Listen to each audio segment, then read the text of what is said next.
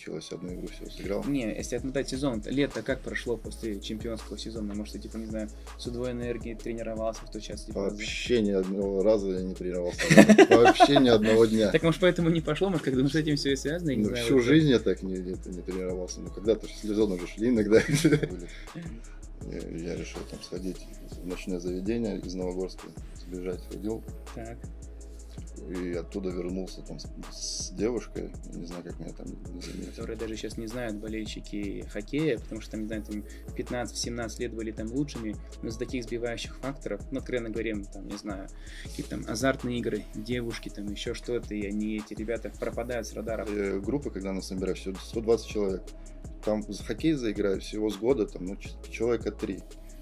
Верно. А если ты не учишься, то что Сам- ты, Кстати, это подожди, самое- ты, то есть приезжаешь в Питтсбург, там уже Малкин, Малкин тоже с Магнитогорска, вы раньше до этого были с Малкиным знакомы как-то не вообще? Питтсбург, в Ванкувер. Ну, я именно в команду в Питтсбург ты приезжаешь, то есть ты задрафтованный, ну, Питтсбургом, просто мы об этом еще не сказали. Он с Да. медалью там. Все лавры себе забрал. Короче, ты это расстроился, да, что считай? Ну, не я приехал, у меня только мама там с цветочком встречает. Потом его уволили, потому что там, ну, можно Что? так Да, расскажи, Ну, что это? Он там, по-моему, игрока что-то не взял, которого надо было взять. А, то есть надо было взять вот это уже... Такие истории были не только сейчас, да, уже тогда, в те Да, времена. да, то есть да, ему это- как бы навязывали взять игрока, да? Да, Он просто не взял его, да? Да. Его сняли со сборной, да? да.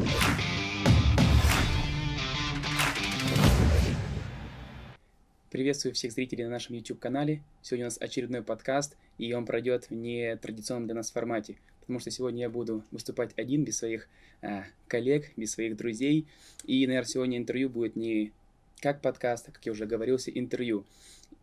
Главная цель сегодня разобраться, что у хоккеиста следует за их победами в профессиональном хоккее после чемпионства России, мира, и как хоккеист профессиональный может адаптироваться к обычной жизни. Насколько это легко, насколько это просто. Сегодня попытаемся в этих и других вопросах разобраться. Сегодня у нас в гостях, а, начну с регалии, это и обладатель Кубка Гагарина 2014 года, а, победитель молодежного а, юниорского чемпионата мира, серебро юниорского чемпионата мира Александр Печурский. Сань, привет, что Привет. нашел время, да, правда, прийти на наш подкаст. Я думаю, нашим зрителям, а, всем родителям, которые смотрят наши выпуски, будет интересно поделиться своими историями. И забегая вперед, что история будет, я думаю, и откровенной, и поучительной. И еще раз говорю спасибо, что согласился ими поделиться, как бы, и, возможно, за смелость и за это уже отдельная благодарность тебе. Наверное, нужно начать с самых простых вопросов вообще, как пришел в хоккей, во сколько лет пришел в хоккей, как это вообще начиналось. И, кстати, почему стал вратарем, как вообще человек принимает решение, хочу стать вратарем, потому что, да, про вратарей, про вратарей всегда говорят, что нормальный человек в ворота не встанет. Как Ну как, все, начал заниматься в 4 года, меня родители отдали на хоккей. А, Это была инициатива родителей, потому что там в 4 года ничего не понимал, но у нас, э, в принципе, про- кроме хоккея в, в Магнитогорске ничего не было. А, Вот. Года два учился, наверное, кататься, потом тренер сказал, э, вот, пожалуйста, ловушка с блином, я не знаю, каких годов там, очень-очень старая есть, э, кто хочет ворота встать, согласился, Не, а до этого расскажи, почему ты согласился? Помнишь, ты за кадром рассказывал А. историю, что вы ходили, да, во дворец Рамазана, да, там да. и Да, лавры, лавры все. Да, да, да, еще тогда был э, вратарь Б- Боря Тартунов.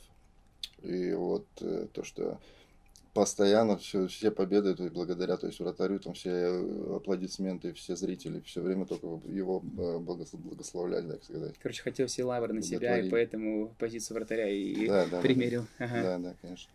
Ну и красиво смотрится, такой растяжка хорошая. Ну так вот, э, ну, тренер, ну вот э, выдал ловушку с блином. Ну там, конечно, вообще, я тебе говорю, то, что тех годов э, форма, я не знаю, какая. если бы они еще умели бросать там игроки, я не знаю, ну там точно было. Тяжелая, да, была форма вообще? Мгм. Ну, из конского волоса, потом там и щитки. Затем что? Затем, ну, сколько там, во сколько лет нам давали обычно форму? Ну, и- покупали. Ну, Я имею в виду, а, окей. выдавали, но в клубе по-разному, в зависимости там, а, мне кажется, к 11-12 М. годам, наверное, уже начинали форму Уже выдавать. выдавали. Ну, э, сначала это изначально э, просили родителей покупать форму. Э, У меня родители, так сказать, не особо богатые были, то есть и не было возможности купить, приобрести. Спасибо родителям, которые помогли, скинулись. То есть форму. родители, имеешь в виду команды, которые Команды, были, да, да, команды. они скидывали, чтобы купить тебе как вратарю форму. Да, ну, б- во всех годах, наверное, у тебя тоже так же было, то, что есть там пару-тройку э, богатых таких родителей, которые могли себе это позволить. Также они оплачивали там и, и летали а, на Новый год в США, Угу. в Прагу, вот, два года. Это вы по возрасту Ну, по своему да, да, да, ну, в детстве. Мгм. Также вот, я говорю, лет 11 там было. Мгм. Там, ну, вот этот вот, конечно, вот первый Новый год из-за границы в США, когда там вообще незабываемый был. Сначала на турнир съездили. А, в трех городах, получается, мы играли. Да, там в штате Олбани, Филадельфия, по-моему, еще где-то. Не помню сейчас точно не скажу. Там тоже история была. Сначала нас поселили, сказали, ну, по семьям же раньше брали, разбирали, там по двое-трое игроков. У нас там один деятель э, пошел в магазин и стырил. Ну, еще и Что, сразу... поймали? Ну, конечно, Так, дальше поли- что? полиция и там родители, то есть, которые принимали, наказали. Все, сразу же после этого на следующий, в следующий город поехали. Тоже должны были родители они в гостинице все заселились. Никто Это какой возраст вам был? Не помнишь, ребятам? Сколько тогда было лет? Что Ну, уже так лет по чудили? 12, по 13, наверное. Нет, ну да, по 12 лет. Кстати, 13. Ты хорошую историю рассказал. Вот расскажи мне, интересно, тренер в команде, помимо хоккея и что там знаешь, у тренера задача воспитать хоккеиста, чтобы он там выиграл, да, там чемпионат мира, там чемпионат России, тогда тренеру поставится там звание заслуженный тренер России, тренер на все на это нацелен, чтобы воспитать хоккеиста. Но были ли такое, что тренер уделял внимание просто разностороннему развитию личности, уделял внимание, там, не знаю, там, поведению там в быту, просто обращал на какие-то Ну, личностные качества человека, что там, ну, не знаю, вот вспомни, как вообще тренер воспитывал моментов не было, да? Рассказ? кроме хоккея. Ну, не знаю, кроме хоккея, вот мне интересно, как тогда уже тренер выстраивал коммуникацию в команде внутри? Да, Какие ценности подсвечивались? Он, нас, он такой строгий был, мы его боялись очень сильно, нашего детского тренера. Мгм. Андрея Владимировича. Он такой жесткий был, как тактик-то он вообще ничего, по-моему, не выиграл. Мгм. Но как человек он так мужиков воспитывал нас. Мгм. То есть он мог там и втетерить в грудь, чтобы не Было- было, Да, да, да, да, да, в грудину. Мгм. То есть и- по там клюшкой по, по шлемам там раздавал вообще легко. Мгм. Ну, я, ну, как бы не приветствую, Мгм. училось, что сдал, да. Там даже раз было то, что игра какая-то у нас была тоже э, между г- старшим годом или младшим. И э, он, один родитель увидел тоже, что на скамейке тот бьет его клюшкой что ли, или, или там ладошкой сильно. Мгм. А родитель прибежал на скамейку и начали драться, короче, прямо на Нет, это скамейке. классическая история, да, как бы часто встречается, вот, да, это в нашем хоккее, да. А тогда вот расскажи, вот, то есть ты пришел в хоккей, захотел стать вратарем, потому что и все лавры вратарю происходят, и вот вы в команде занимаетесь. Расскажи, как начались самые первые турниры, там, не знаю, первенство регионов, уже когда начались какие-то первые успехи в этом, и ты понимал, что где-то, возможно, получится связать свою жизнь с хоккеем, стать профессиональным хоккеистом. Уже такие первые мел- мелкие победы, вот когда Ну, вы начинали все. Э, сказать, у нас год такой не особо сильный был, 90-е у нас. э, То есть я, по-моему, с, со своей детской командой вообще ни одной, ни одной медали у нас не было. То есть даже ни третьего, второго, ни первого места. Первые медали у нас пошли, меня пошли вот как раз регионов, наверное. Э, Сначала, ну, у нас сильный был регион. То есть Мгм. трактор школа у нас была вообще потрясающая. Там А кто, много- кто там были в составе у вас? Ну, знаешь, вот сейчас ребят, которые, может, на слуху для всех С- болельщиков хоккея. Кто там был? Уральского региона ты Ну да, вот кто там были? Ну, Война, Слава, Мгм. э, Лазарев Антон играл раньше, сейчас уже, по-моему, закончил. Мгм. Ну, не знаю, может, не закончил, будет играть. Белоусов, Мгм.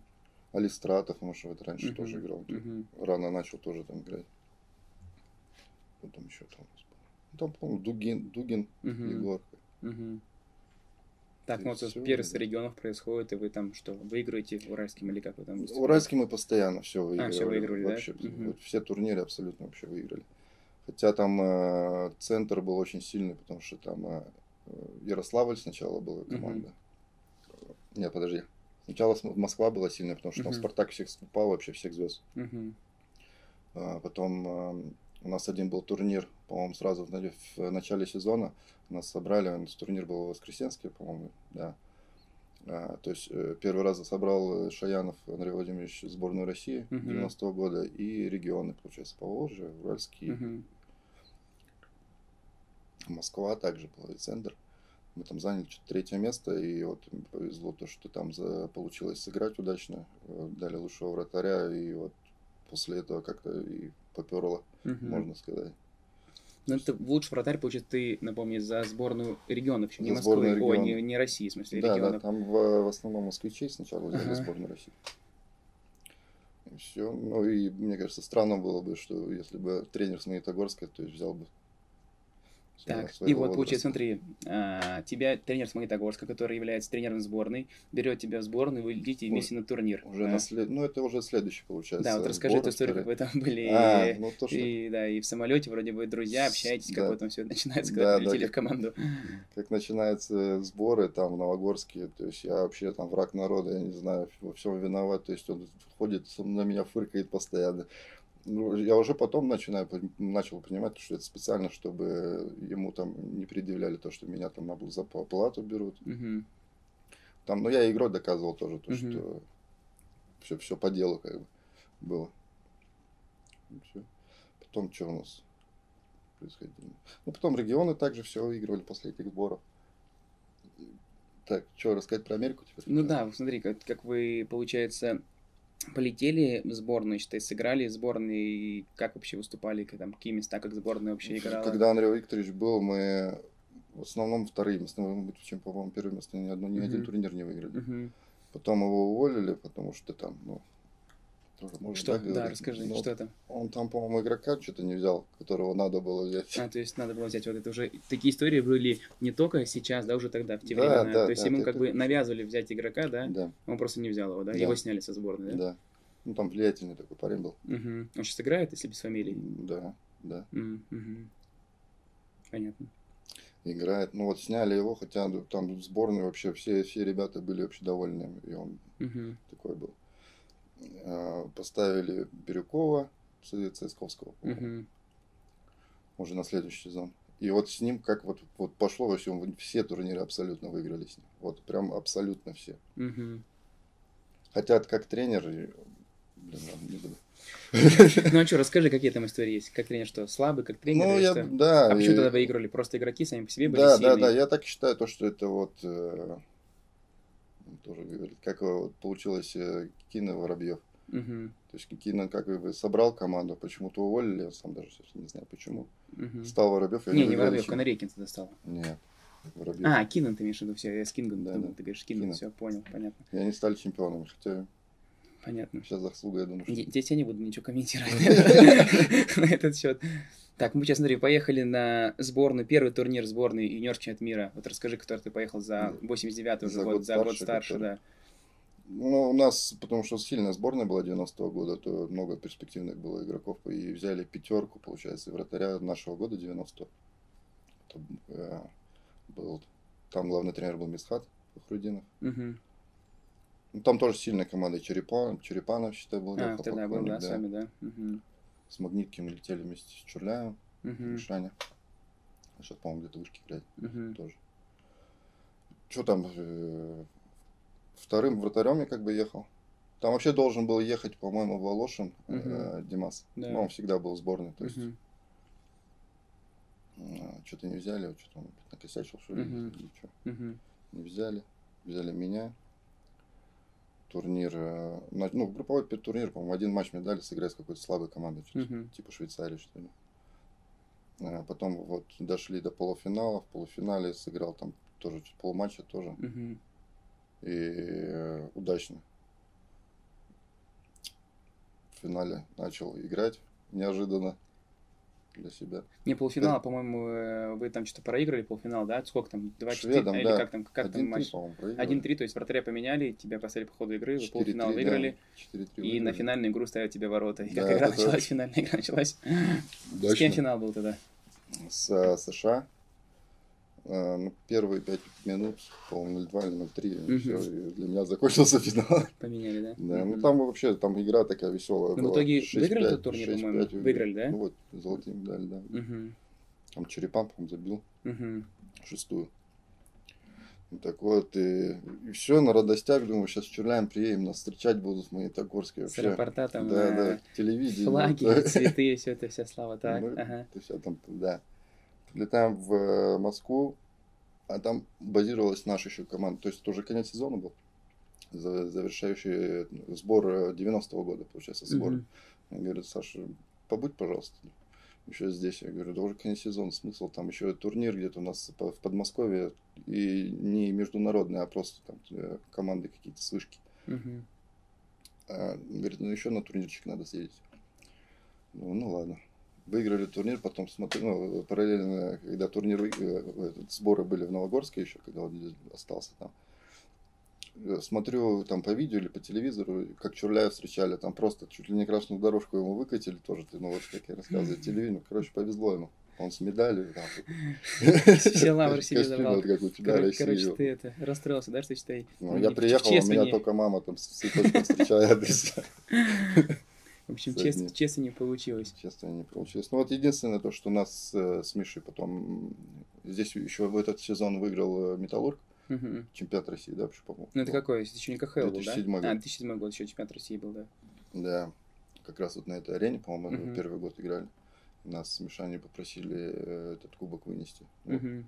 Тоже тогда так приятно На Чествине, было. да? Да, да, да. Мгм. Ну, кубок их, не Мгм. наш. И все, на следующий, ну, Так, и через год, получается, смотри, ты сейчас выиграл за ребят за год старше, через год уже за свой возраст поехал, получается, вот на да, юни- да, тоже юниорский чемпионат мира, и там, получается, вы вторыми становитесь. да. Там финал как сыграли, Финал расскажи. веселый тоже. Ну, начали чуть-чуть похуже, чем год до этого. Э, Там что-то нам также за минут пять первых четыре отгрузили. Живо поехал. Ну, я, как обычно, на. Как финал Всё. закончился с канадцами? Счет не помнишь, ну-ка напомни мне. 0-8. 0-8. И Ну, после этого... Упирались. Упирались, да? Да. Так, и дальше вот как э, складывается карьера, то есть ты побывал на двух юниорских чемпионатах мира, потом э, тебя в этот период уже привлекали сюда в первую команду Металлурги или Да, еще не я- привлекали, как это, это Вот это после- складывалось? После чемпионского, после первого, вот в 2007 году, э, меня пер- первый раз позвали на сборы с первой команды. А кто там был из тех ребят? Было такое, что заходишь в раздевалку, там, не знаю, кто-то там, типа, вау, это тот игрок, который там смотрел по телевизору. Были такие ребята, когда только, только зашел? На Да, ну нет, было- там были, ну, как Кайгородов, Атюшов, Варлам Мгм. Марок. Мгм, Марок мгм, тогда был, да. мгм. Я, по-моему, тогда в первую поездку поехал, когда с первой командой я вот с ним и жил. А, да? Да, Ага, Ну, интересно. скромный парень. Скромный, да? да, очень. Так, ну и в Конечно. первой команде, не знаю, что, что ты молодой вратарь, кто-то тебя там, не знаю, как говорится, там под свое крыло крыло, брал, да подсказывал, либо ты просто сам по себе, как говорится, Сам по варился, себе, Там в осваивался. основном были молодые, с молодыми общались просто. и Мгм. всё, так, знаешь.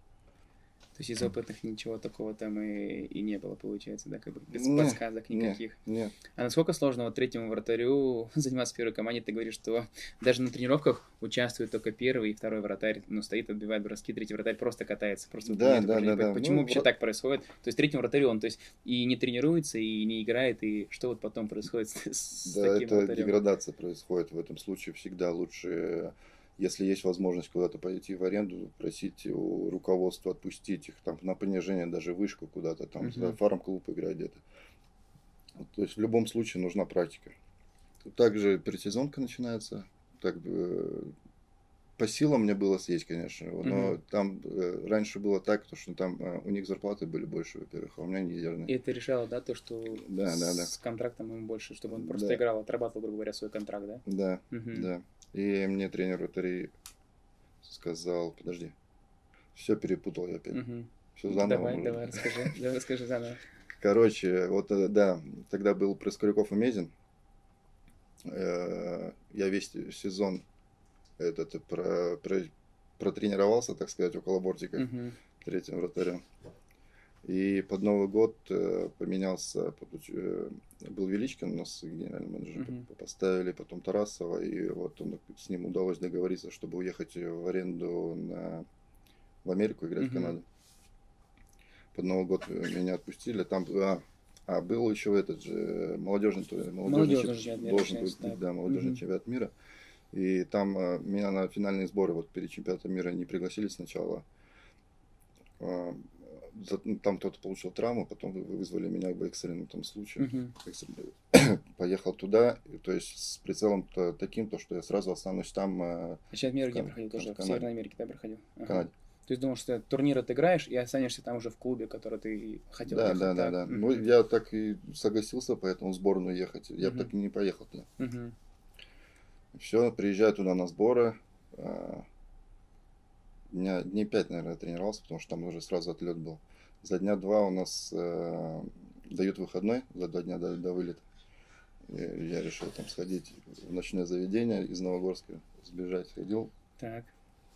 И оттуда вернулся там с, с девушкой. Я не знаю, как меня там не заметили на входе. Но потом один фиг это все выяснилось, тренер узнал и... Отчислили из сборной?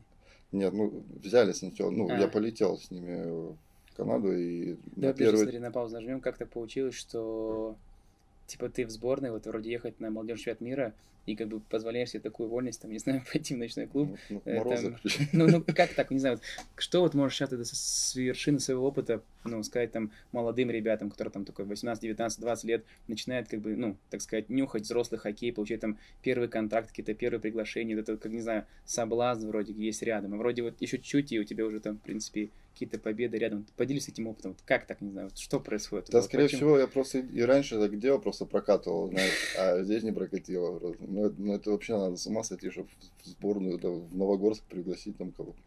Ну, забегая вперед, сейчас мы дальше историю с тобой раскрутим. В принципе, вот эти как бы такие сбивающие факторы, они, наверное, и являются, да, ключевым, где вот, ну, вообще в процессе становления карьеры хоккеиста, где Конечно, это все меня там мешает, мешает очень сильно. Мешает. Как раз у меня, по-моему, там и нет, еще деньги так это не получал больше. Ну, да, дорвался до Москвы, господи, и все, mm-hmm. решил сходить. Но это мешает, да, согласен.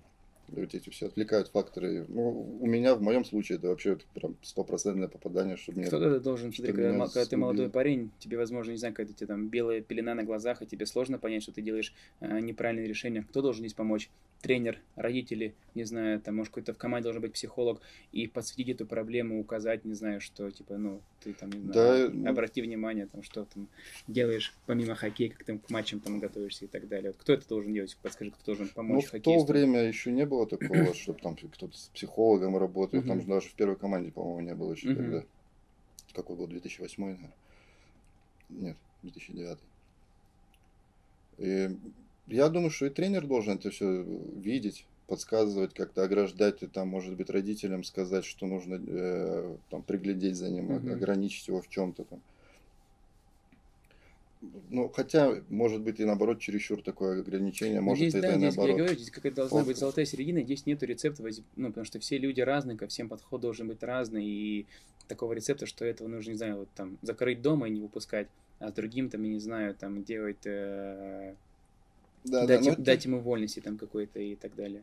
Да, это должно, да, мне кажется, и до самого парня э, доходить. Ну, до, такой до возраст, меня не дошло. Вот, да, ты знаешь, вот сколько ребят были очень талантливых, которые даже сейчас не знают болельщики хоккея, потому что там, не знаю, там в 15-17 лет были там лучшими, но из таких сбивающих факторов, ну, откровенно говорим, там, не знаю, какие-то там азартные игры, девушки, там, еще что-то, и они, эти ребята, пропадают с радаров. Это очень и... много таких примеров, очень-очень много. Не знаю, слабые волей, может Слабые быть. Слабые воли, да? Наверное, да, скорее всего. Но здесь, наверное, мы опять возвращаемся к вопросу о том, что если бы хоккеист э, думал не только о хоккее, а где-то, может быть, там развивался всесторонне, не знаю, там сейчас мы говорим просто о банальных вещах, там, о чтении литературы и еще чего-то. Вот это если сейчас отмотаем назад в детскую школу. Вот детский тренер у вас как-то обращал на это внимание, на учебу ли вас... Вот, кстати, да, расскажи, помнишь, э, в лицее вам там... Ну, да, да, ну у нас... То есть на учебу, в принципе, можно было не ходить, вот только занимайся хоккеем, и, в принципе, это было да, достаточно. Да, но... Не обращали на это внимания. Нас чуть ли там не палкой после девятого класса нас заставляли, то есть с проклассом седьмом организовали, там кое-как учились, то есть поплашки были, э, отпускали на тренировки, на игры, и учителя так закрывали глаза, там тройка по-любому будет. И после девятого класса нас заставляли ну как заставляли, попросили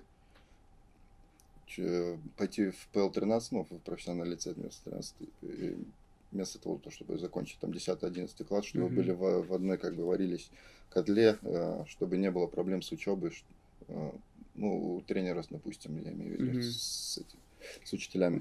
Понятно, давали поблажки, главное, там, занимайся вот все, все, все ради хоккея, тренировки, да, да, да, хоккей, учеба как бы второстепенно. На мое, как бы сугубо личное мнение, что ты можешь там, не знаю, там, под предмету там иметь там тройку, там родители требуют четверку, но четверку, я думаю, требуют не из-за того, чтобы это просто типа там знания были, не знаю, по физике, по химии. Это просто твоя прилежность, твоя ответственность к каким-то делам вне хоккея, что ты должен не только на тренировке стараться пахать, но и стараться там быть прилежным в учебе, там, выполнять все задания своевременно. И именно эти качества, это именно прилежность, ответственность, я думаю, оно и потом перенесется на твою общую карьеру, что поможет тебе, ну, эти сбивающие факторы избежать.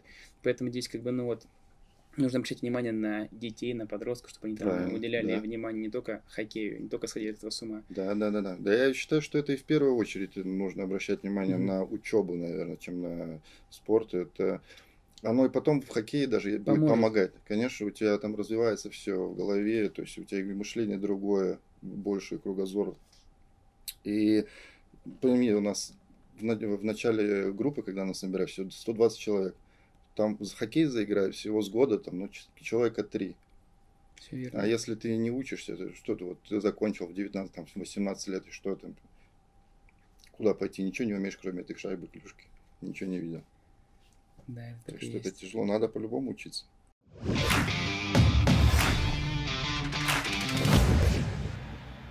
Хорошо, вернемся к сборной. Получается, тебя в итоге берут в сборную, даже после этого твоего инцидента, твоего похода. Прилетаешь в сборную на чемпионат мира уже, и там как вообще события развиваются, что там происходит? Да, меня...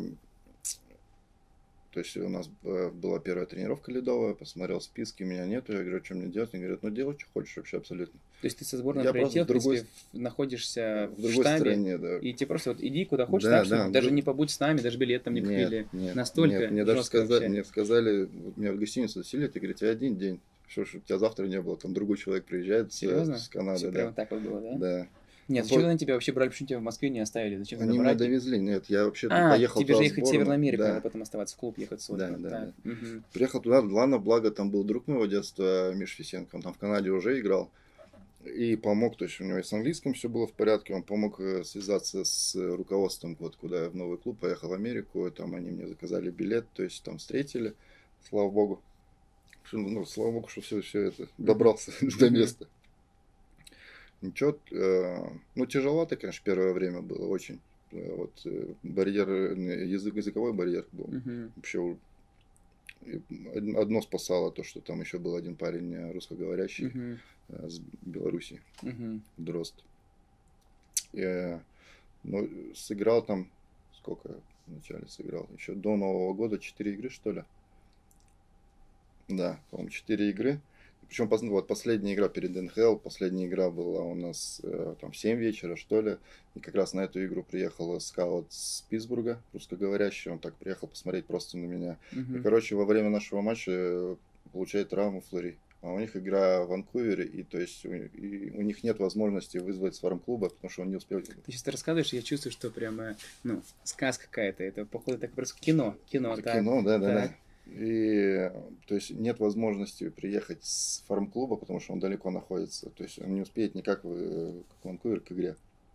И все пришлось мне ехать туда после игры. То есть я еще после игры всю ночь не спал, там на нервах ехать в НХЛ.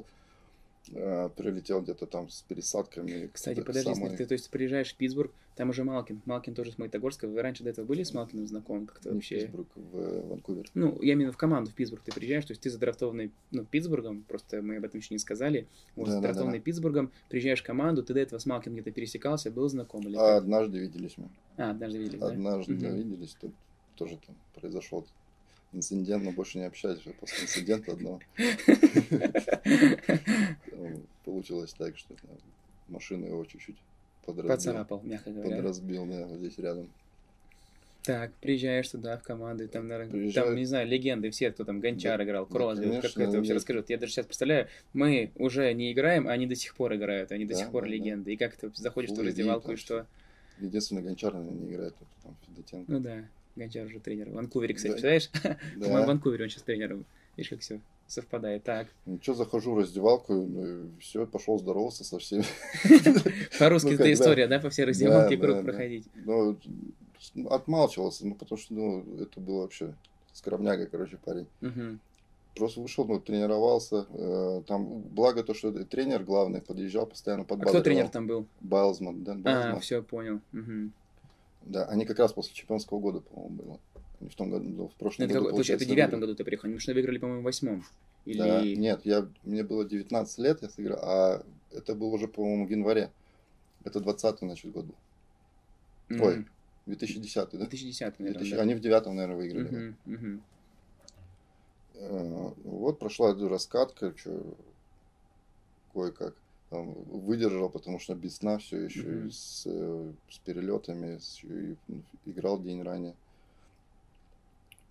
Ну, Ну, там можете посмотреть там потом на ютубе. Там, Да, мы вставку, по- вставки сделаем обязательно там с Да. с игры, там, с этих хайлайтов. ну, повезло то, что... Ну, как повезло? Команде не повезло. Повезло, что э, вратарь начал там пропускать, и так вышло, что мне пришлось выпускать. Кстати, ты вот сейчас опять э, момент был такой, не рассказал, что ты приезжаешь, а форму изготовили щитки, которые были под раскраску Питтсбурга, и пришлось в других щитках играть, не в Нет, нет, своих. нет, там не из-за Или- этого а. было, там э, не проходили по стандарту мо- мои щитки. Ага. Не знаю, почему в КХЛ проходили, в НХЛ нет. Типа, там они уже у вратарей? Или Там кто-то- нет, там был прикол, то, что какой-то разрез просто им не понравился, и все, из-за этого меня не допустили. Мгм, А по размеру все нормально было. мгм. То есть пришлось в других щитках Пришлось выше, выйти, да, в щитках флэри, но это, вот, что понимал, это просто, ну, не знаю, как будто, выйти, как да? будто заново учиться кататься. играть. Мгм. И, Ну, я не знаю, Тяжело в чужих, да, я понял. Ну, это, можно сказать, нереально. Не знаю, что мне там помогло, я не знаю, кто там молился за меня, что так все случилось. Удачно сыграл. А, Подарили после матча, там все поздравили, похлопали, хоть и проиграли 2-6. А, Подарили майку мне оттуда, там, эту шайбу вручил Кросби после игры. Мгм. А, Ну и все, день закончился. А после этого, не знаю, ну, даже в раздевалке как-то не общался с ребятами, со всеми этими, ну, легендарными хоккеистами, там, Кросби, Нет, как-то, эти или, только- стеснялся еще первое время, не знаю, как, вы- как Конечно, себя у меня вести вот никакой, я там всего неделю, ну неделю, сколько, две недели в Америке, это уже в НХЛ сыграл. Вот если бы девушку тогда не привел, не, сыграл бы То есть, реально, в Новогорске, считай, привел, тебя из команды отчислили, и получается, ты сыграл в НХЛ. Вообще, Да. как бы, да. Как говорится, не было бы несчастья, да, если так Ну, Кстати, случилось. мне кажется, вот про эту девушку я первый раз вообще кому-то что-то говорю. Вообще Ну, видишь, теперь ее многие узнают об этой истории. Вообще девушка, где бу- Будут репостить, рассказывать, что. Новогорский сделал. И что получается после этого повторяйте. да. И после этого матча все отправляют обратно ну, в молодежную команду, да? Это Ну, какая лига ты, кстати, играл? WHL. WHL, западная, да. Попали в финал. Ну, хорош, хороший сезон у нас получился. Там впервые, по-моему, вообще за историю этого клуба что-то попали в финал. Мгм. Выиграли вот свою конференцию, э, попали в финал. И там... Это там у вас финал на НХЛской арене в Калгари проходил? Это Да, этом? да, да, да, да. То есть Ну, вы они играли на какой-то сезон. своей арене, а финал именно на НХЛской, да, арене Кал- проходил? Калгари? Да. Нет, Калгари они весь сезон играли А, там на этой же арене. Да, они Мгм. как-то там составляли, получается, А, график, себе. скорее всего. Ну, как у нас с МХЛ Ну, получается. понятно. Ага.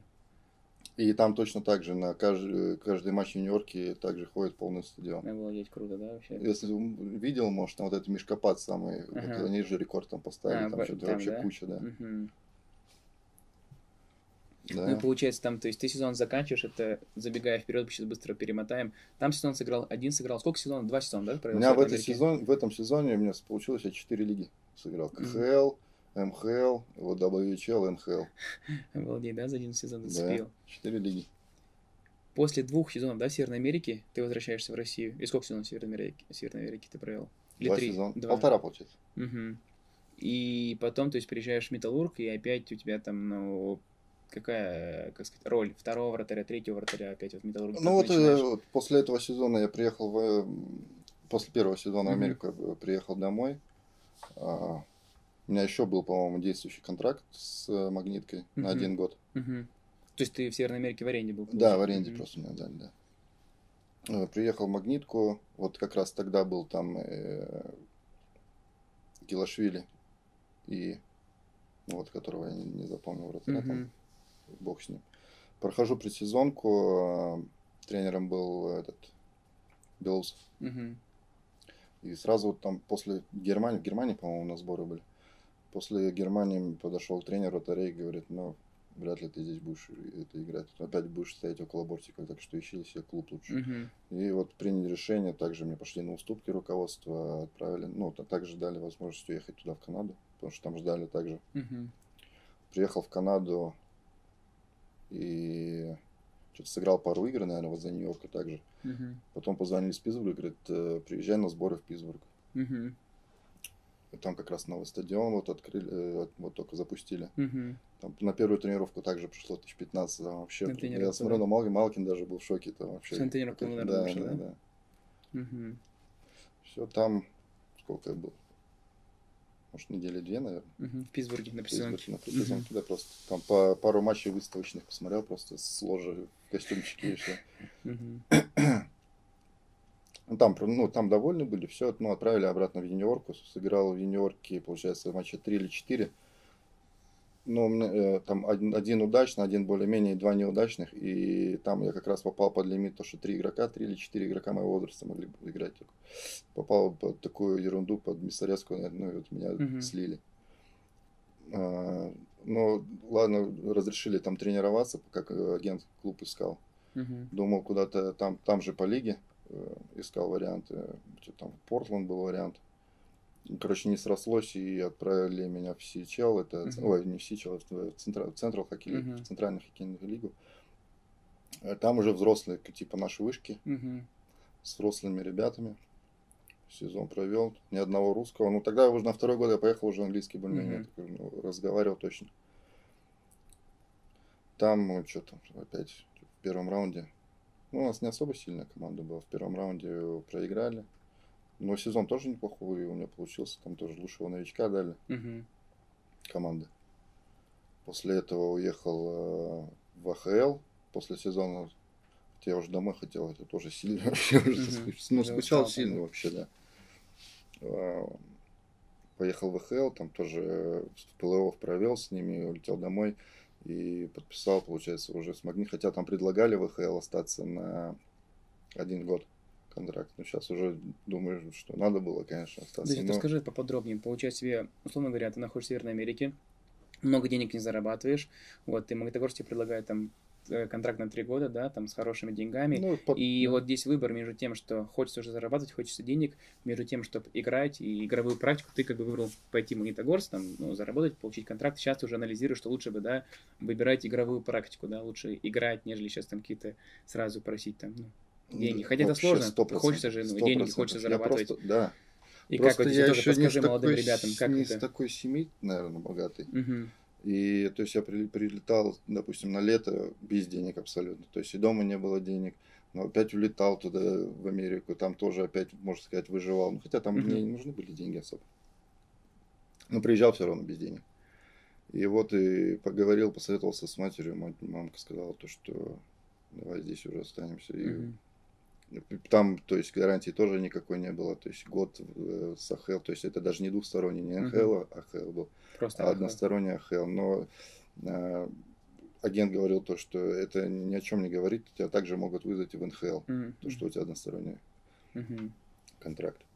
И вот как здесь вот молодым ребятам выбирать между тем, что ты уже хочешь зарабатывать, как бы у тебя вот уже близко твой какой-то там контракт, но ты там будешь вторым, третьим вратарем, ты там не будешь играть. Либо выбирать клуб, там, не знаю, а, послабее, уровнем послабее лиги и играть. Вот как вот здесь, это же соблазн здесь зарабатывать деньги. Как вот выбрать все-таки игровую Да, практику? конечно, лучше играть. Но ну, я не знаю, если бы я остался в Америке, заиграл бы я там. Ну. Ну, хотя шанс бы дали по-любому, от Мгм. меня бы все зависело. Мгм. То есть, как бы себя проявил. Но я сейчас сто процентов могу сказать, ну, надо либо идти там на понижение лиги, но играть игровая Играть практика нужна. выбирать, да. играть, да, ну, примеров сейчас много. Вот э, с Нижнекам, в Нижнекамске парень э, Долганов. Мгм. Он всю жизнь проиграл в, э, в вышке, в Ижевске, в Ижцале, Мгм. которая команда э, там в плей вообще ни разу, по-моему, за последние лет пять не попала. Мгм. То есть он по- постоянно был в тонусе, постоянно, постоянно играл. Хоть и проигрывали, но постоянно был, ну, бросков нагружали. И вот дали шанс в Нижнекамске, он себя показал. Все. Примеров так дофига. Э, тот же Белялов, который М. тоже он в вышке, Много, да, вышки в вышке набрал? вообще очень много прожил. И, значит, где случается твой переломный момент? То есть ты возвращаешься в Магнитогорск, а, подписываешь контракт на три года и Да. не играешь сезон. Или играешь сезон, ну, как там этот сезон Нет, там был? Гелашвили, Мгм. по-моему, да. И Проскуряк. Гелашвили да, был. А, вру. Аханин, по-моему, был Ага, тогда. ничего себе. Да. Охрененный. Ну нет, я приехал, э, меня отправили, вот это хорошо, то, что меня отправили в, в Фарм? фарм-клуб, э, Ага. был Орск? Орск, да. Ага. А, вот там я почти весь сезон отыграл. Вообще отлично, мы что-то там шли на втором месте или на Мгм. третьем. Потом меня на плов забирают в магнитку, они сразу, а я, считай, там сыграл тоже весь плов. И они там, вылетели? ну, Орск? да, потому что там вратари тоже без игровой практики. А. Также около там э, Так, а смысл, и тут, наверное, не играл, и нет, там просто мог. плей-офф, да, там, М, в третьем прокатался здесь и все. Все, на следующий год э, вот с Кинненом мы выиграли, получается. Мгм. Ну, ты тот, тот год играл, когда выиграли с Кинном, или... Да, ну вот я с Васей же был. Ага. Мы, да, сколько я сыграл, наверное. Ну там я вторым был, Мгм. то есть я тренировался хотя бы. Мгм. Мы третьего не подпускали, а третьего у нас кто там был-то? Этот, по-моему, не вспомню. Мгм. Ладно. Бог с ним. Э, Там я хоть тренировался, да. Ну и сыграл, ну, может, игр 10 мне Мгм. давали так. Ну, там хоть в обойне, хоть я чувствовал себя. Но все равно, то есть э, вы играете игроком. чемпионство, вы играете Кубок Гагарина, и потом как вообще, не знаю, лето после этого проходит, какие у тебя мысли, у тебя получается еще год контракта остается, Да, да? еще один год был. Ну, ничего не предвещало беды, потому что там и даже Виктор Филиппович подходил на празднование и говорил, Мгм. все будет нормально, на следующий год все, все будет хорошо, типа будешь больше играть намного. Мгм. Мгм. Ну, все, начинается э, сезон. Что у Васи там не пошло или что, или он травму что-то получил. И у меня что-то не особо этот сезон задался. Мгм. Все обменяли в Хабаровск. Мгм. Там тоже вот этот полсезона, мне перед Новым годом, получается, прям обменяли. Там вот эти в Хабаровске, мне тоже там сыграть дали одну игру и все. Ну, а если отмотать, э, как бы не пошло, но для спортсмена, ну, не какой-то же фарт, не пошло, и все, как ты думаешь, вот сейчас анализируя, есть ли какие-то причины, почему не пошло, что не Да, получилось? да, у меня и поведение такое было, то есть я да, расстроился, конечно, что если когда меня обмен, обменяли Мгм. в Хабаровск. Хотя, с другой стороны, я понимал, что, может быть, я буду больше играть. Мгм. Ну, там вот, видишь, не получилось, одну игру всего сыграл. Не, если отмотать сезон, лето как прошло после чемпионского сезона? Может, ты, типа, не знаю, с удвоенной энергией тренировался, что сейчас, типа... Вообще ни одного раза я не тренировался. Вообще ни одного дня. Так, может, поэтому не пошло, может, как думаешь, с этим все и связано, не Ну, всю жизнь я так не, не тренировался. Но когда-то же сезон уже шли иногда.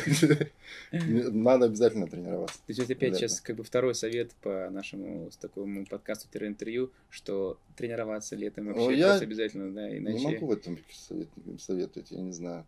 Ну, я считаю, что и надо соскучиться по хоккею за лето. То есть, вот я сейчас, может, секрет расскажу. С Илюхой, когда играли вместе с Илюхой Проскуряковым, он Ага. говорит, тоже он вообще ни разу не тренируется летом. Он или, либо не, не встает на лед ни разу. Мгм, мгм, Я точно не помню. Также, говорит, надо соскучиться по льду просто. мгм.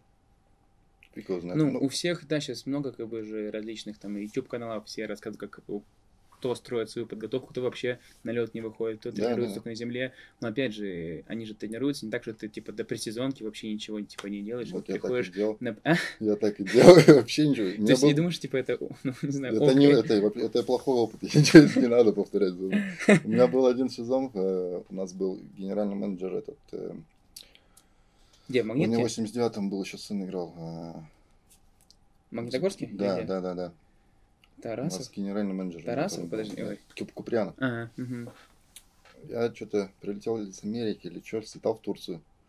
Потом у нас э, сборы начинались что-то в июле. Восстановительный? А, нет, это же в июле В уже, всё, июле, уже в все июле. командное. Первая команда, да, что-то ага, там 10 числа. мгм. Я покупаю путевку 2 июля на две недели в Турцию и сестрой. Как так вообще? Расскажи, ну что ты? У тебя 10 июля командные сборы, ты 2 июля на две недели покупаешь? Да. Так у тебя Ну или на 10 10 дней, что-то такое. Короче, я там на день или на два. Ну ты даже не знаю, типа вот не очковал, типа как сейчас приеду в Я команду. пришел с сестрой, со старшей своей. Он говорит, мы уже купили билеты, э, путевку. Он ничего, пошел на уступки, отпустил нас. Реально? Да. Обалдеть. А это, по-моему, год вот как раз после Америки был. Мгм. Да, такие истории были. Вот Вообще. я тебе про то, что я летом вообще вообще... просто в голове не укладывается, считай. У тебя приземка начинается спокойненько, да? Летом. Я не знаю, как вообще пошел, да, я сейчас вообще даже не представляю. Тогда мне казалось, это нормально, господи, ну, на день бы опоздали на сборы. Загореленький приехал на сборы и все. То есть там все ребята в форме, ну, уже там где-то Да, готовятся. да, да. Так, И как ты в сезон ходишь, когда все плюс-минус в Вообще форме? нормально, а что две недели, два месяца еще до сборов, ой, до, до сезона. Д- Два месяца сборов, вообще спокойно. Ну, тяжеловато, конечно, в начале. Ну, там же потихоньку, вот там сразу не дают такие нагрузки. Потихонечку входишь. На льду, кстати, нормально всегда было. Вот земля тяжеловато мне давалась вообще. Бегай, ты, ты скуперы эти, это вообще кошмар. Я столько их пробежал за всю карьеру. Хотя у меня такая относительно не, не, не, недолгая карьера. но и один сезончик я попал вообще сильно с, вот э, в, эм, в Амуре Мгм. с э, Мисхатом Фахрудиновым. У нас были каждый день тест-купера. Это Каждый зарядка. день? Каждый день. Мгм. А вечером еще кроссы там по 10 и там по Ну, 8 понятно, это как километров. бы еще все, все старая школа уже. Это уже КХЛ, да, все равно Это было? да? КХЛ уже, да. Ну, это какой А год, до эт- получается? Это, Это Мисхат. 15-й, 16-й какой-то год, подожди. В 14 выиграли. 15, 16, Ну, 17 где-то, мгм, да. мгм. Нет, 17, по-моему, уже нет, 15, 16. Причем до этого тоже бегали, но не так сильно, вот с, э, получается, с Канарейкиным, с э, Белоусом, когда я в сбор Мгм. проходил с Магнитки. Когда вот еще прошел сборы с э, Кинаном, у нас ни одного кросса не было, ни одного э, Купера вообще не Мгм. было. У нас только велосипед был по пульсу, и все. то есть у каждого пульсник бежишь, смотришь, полчаса там по пульсу 150 крутишь, и все. А как вот расскажи, вот у- в командах проходил уже во взрослых командах, там, металлурги досуг, там, не знаю, в самолете, как бы, что ребята делали после игр, как проводили досуг, там, я не знаю, э, Картишки. вот это все, картишки. Картишки так. и планшеты, все. То есть сейчас просто э, развивается такой, да, подход, что хоккеисты даже во взрослой команде там сопровождают, там есть там и финансовый консультант, есть как бы и различные там курсы по тому, как вообще свою жизнь обустроить вне хоккея. То есть, в принципе, у вас еще в тот вре- времени Вообще ничего не было, никто там такого. не может, подсказывал, даже никто как бы не задумался, что карьера может закончиться быстро, и да, переходя к тому моменту, что помимо карьеры быстро заканчиваются как бы те финансы, те средства, которые ты в обычной Да, да, жизни да. не заработаешь. И вот как вот, не знаю, сейчас мы Закончился, закончился хоккей, закончились деньги, все.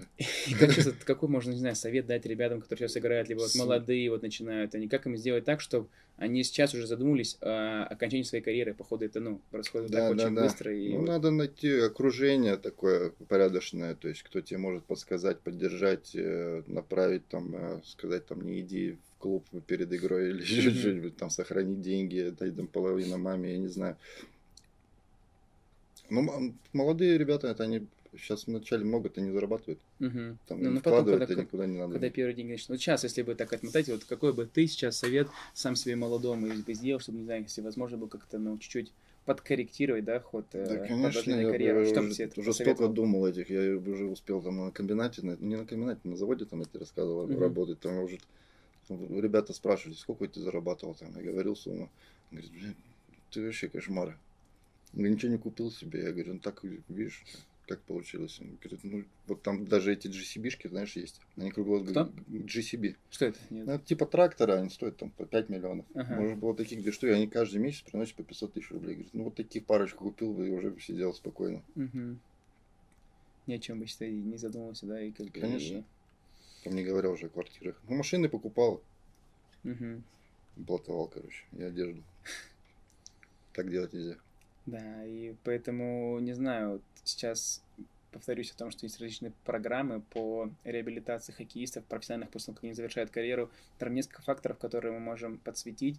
Это первое, что просто вот закончился хоккей, и как бы ребята не знают, чем ну, себя занять, куда пойти, чем заниматься. Вот этот э, фактор такой очень важный. Я думаю, это все начинается еще в детской школе, когда занимаешься хоккеем, когда у тебя увлечение только один хоккей, ты заточен только на хоккей, ты не разносторонний. Наверное, вот это вбьет, что потом хоккей заканчивается, и ты как бы не можешь нигде найти. И заканчивается, как мы уже сказали, помимо хоккея заканчиваются эти контракты, которые приносят, да, большие деньги, потому что Да. их в обычной жизни очень тяжело такие деньги заработать, ты уже привык к этому уровню жизни, к этому уровню доходов, и начинаются там, не знаю, различные проблемы там у хоккеистов Да, их и невозможно заработать, если только не воровать.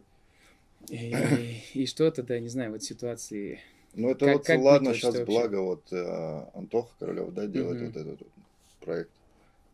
Ну, Хорошо, тоже в мое вот- время просто не было таких.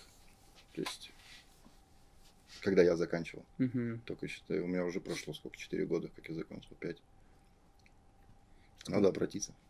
Ну, я думаю, вот э, посмотрит видео, и я ему напрямую позвоню, думаю, такими ребятами занимается, заинтересован, чтобы помогать хоккеистам. Есть просто, почему основной посыл этого интервью, который мы собираем все выпуски, и рассказываем о том вообще, как правильно тренировать детей. Там у нас был выпуск, как э, там ген-менеджер работает, выпуск был там с другими гостями, и сейчас вот выпуск с э, профессиональным хоккеистам, которым, да. Примером, да. Ну, я не хочу говорить плохим примером, но хочу говорить, что это реальный пример. Это да, реальный да, пример, что да все, таких. все подсвечают только то, что кубки, медали, победители Олимпийских игр, там, игра в НХЛ, и ты заточен только на хоккей, но даже сыграв игру в НХЛ, даже победить в Кубке Гарри на чемпионате мира, это еще не гарантия того, что, да, как бы все будет, будет складываться жизнь, да. супер, и поэтому мы всегда об этом говорим, пропагандируем за разностороннее развитие хоккеистов, чтобы они и не только в хоккее учились, но учились в других областях, тогда, я думаю, у них как бы и карьера сложится хорошо, и после карьеры будут, думаю,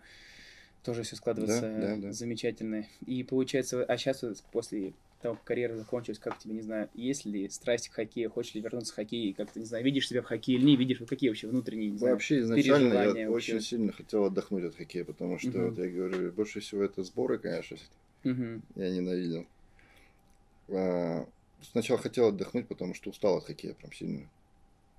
Но спустя два года, ну, через год я захотел вернуться опять, обзванивал клубы, чтобы хотя бы на просмотр, на просмотровый uh меня контракт куда-то взяли везде отказ получил, потом а, а, пошел с документами сюда, в хоккейную школу тоже отдал. Ну, уже тренером. Тренер, да, тренер, угу. тренером попробовать. Э, там все занято, до сих пор, похоже, все занято. Ну, я даже по своему примеру могу сказать, чтобы попасть даже в детскую школу, у меня там в Москве там ушло порядка там 6 лет, чтобы ты просто, ну, попал в спортивную школу, мог там работать, потому что это не так просто, потому что каждый год, сколько заканчивает профессиональных хоккеистов да, да, карьеру, сколько каждый год выпускается ребят из молодежной лиги, высшей лиги, из детской школы, из институтов выпускаются, а команд не так много, чтобы попасть и работать тренером. Поэтому это, как бы, считаю, э, тренером сложно устроиться, да, сложно да. попасть, но... Но реально.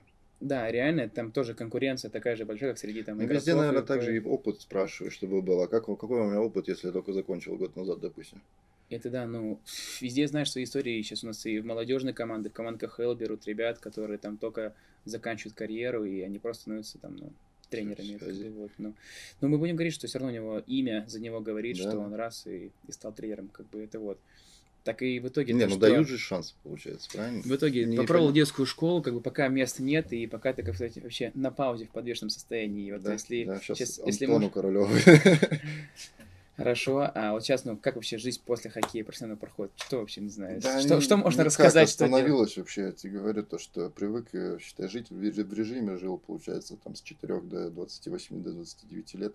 У тебя есть четкое расписание вообще? Постоянно в режиме, там, понятно, что два месяца там отдохнуть, погулять, потом все, вот эти 10 месяцев ты вообще вот в режиме варки, вот в этой хоккейной. Угу.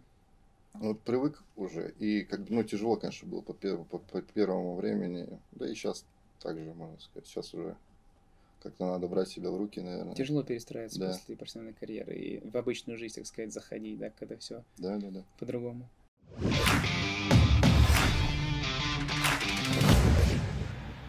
И, наверное, прежде чем э, подытожить наш сегодняшний разговор, хотелось бы поблагодарить э, хоккейный магазин Overtime, который предоставляет нам площадку для съемок э, наших очередных. И вот тезисный итог. Так что же нужно делать хоккеисту, который, не знаю, давай начнем с лет 14 занимается хоккеем, как нужно ему устраивать свою жизнь в хоккее, около хоккея, чтобы обезопасить себя, но от тех, да, ошибок, которые, откровенно говоря, у тебя там случились, чтобы хочется, безусловно, мне как тренеру хочется, чтобы мои воспитанники дошли до команд мастеров, чтобы выигрывали там чемпионаты России, чемпионаты мира. Конечно, хочется, но я для себя ставлю цель, что не только обращать внимание на этих двух, которые меня заиграют, но еще остальные там два человека, которые в команде есть, тоже помочь им а, развиваться, тоже им помочь найти свое место в жизни. Мне кажется, это основная миссия тренера. Когда ты только заточен на хоккей, это ты только для этих двух, а остальные 20, получается, да, как да. бы тебе не нужны. Вот, да. но это неправильно, поэтому, хотя это сложно. сколько даже это и с уголовным, там, кто-то в тюрьме там заканчивает. Если даже делать статистику, я анализирую по нашему возрасту, по нашим ребятам, у нас три человека там сейчас играют в КХЛ, также где-то три человека еще высшей лиге, там еще два, помимо меня, помимо меня еще два а человека тренером работает.